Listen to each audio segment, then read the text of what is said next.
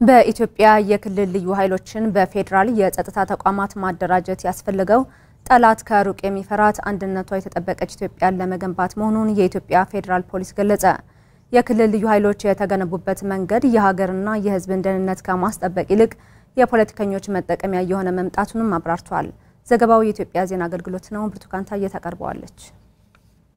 የክልል ልዩ ኃይሎች የተገነቡበት መንገድ የሀገርና ሕዝብን ደህንነት ከማስጠበቅ ይልቅ የፖለቲከኞች መጠቀሚያ እየሆነ መጥቷል ተብሏል። የኢትዮጵያ ፌዴራል ፖሊስ ማዕከል intelligence ዋና መምሪያ ኃላፊና የኢትዮጵያ የጸጥታ ኃይል መልሶ ማደራጀትና ስታንዳርድ ጥናት ቡድን መሪ ረዳት ኮሚሽነር ሀብታሙ ካሳ ለኢዜአ እንዳሉት የክልል ልዩ ኃይሎች አወቃቀር ምንም አይነት ሕጋዊ መሰረት የለውም ብለዋል። በ1997 ዓ ም ብሔራዊ ምርጫ ተከትሎ በመላ የኢትዮጵያ ተከስቶ የነበረውን አለመረጋጋት ለማርገብ ክልሎች አድማ በታኝ ፖሊስ እንዲያቋቁሙ መደረጉን ረዳት ኮሚሽነሩ አስታውሰዋል። የተቋቋመው አድማ በታኝ የሰው ኃይል ብዛት፣ የሚታጠቀው መሳሪያና አደረጃጀት ምን መምሰል እንዳለበት በአሰራር ስላልተቀመጠ ክልሎች በራሳቸው መንገድ ተጨማሪ ኃይል በማሰልጠን ልዩ ኃይል ብለው መሰየማቸውን ገልጸዋል። የክልሎች ልዩ ኃይል ተጠሪነቱም አንዳንዶች በክልሉ ርዕሰ መስተዳደር ወይም ፕሬዚዳንት፣ አንዳንዶች ደግሞ በጸጥታ መዋቅሩ ስር እንዲሆን በማድረግ አደራጅተውታል ብለዋል። ይህ የክልሎች ልዩ ኃይል ቃለ መሐላ ሲፈጽም ለተመለመለበት ክልል ብቻ በመሆኑ የሌሎች ክልሎችን ሕዝብ በስጋትነት እያየ መምጣቱን ገልጸዋል።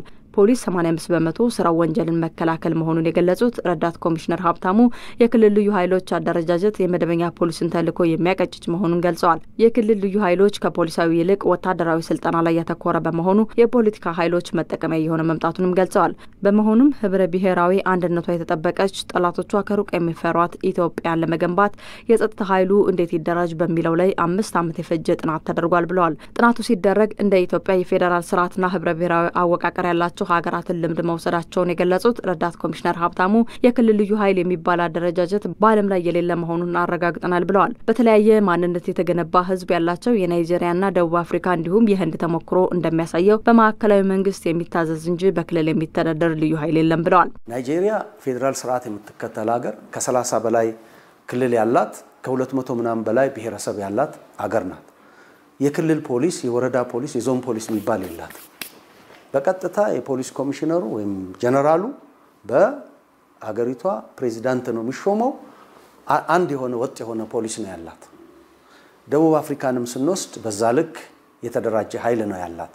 በማዕከል የሚመራ ነው። የራሳቸው ጀስቲፊኬሽን አላቸው።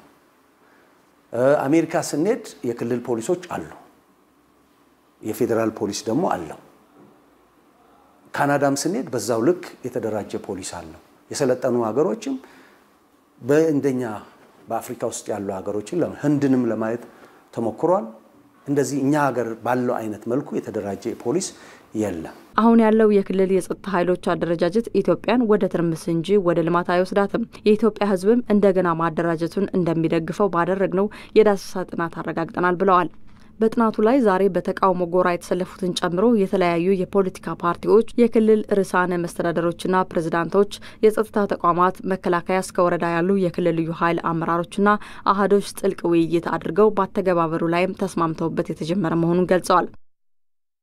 ከ2012 ጀምሮ ከዛ በፊት በነገራችን ላይ በፖሊስ doctrine በፖሊስ ስታንዳርድ ይሄ ጉዳይ ተነስቷል። ሌላው ቀርቶ በፖሊስ doctrine ላይ ውይይት ሲደረግ ኢትዮጵያ ውስጥ ያሉ የፖለቲካ ተፎካካሪ የፖለቲካ ፓርቲ አባላት፣ አመራሮች፣ የሲቪል ማህበረሰብ፣ የህብረተሰብ ተወካዮችን ሁሉ መጥተው ውይይት አድርገዋል። ፖሊስ እንዴት ይገንባ በሚለው ሀሳብ ይሄ ነው። ይሄንን አድርገው ያ doctrine ወደ ተግባር ይዛችሁ ስትሄዱ ፖሊስን ከአፈር ላይ ያነሳችሁት መሆኑን እንድታውቁት የሚል መልስ ነው የተሰጠን።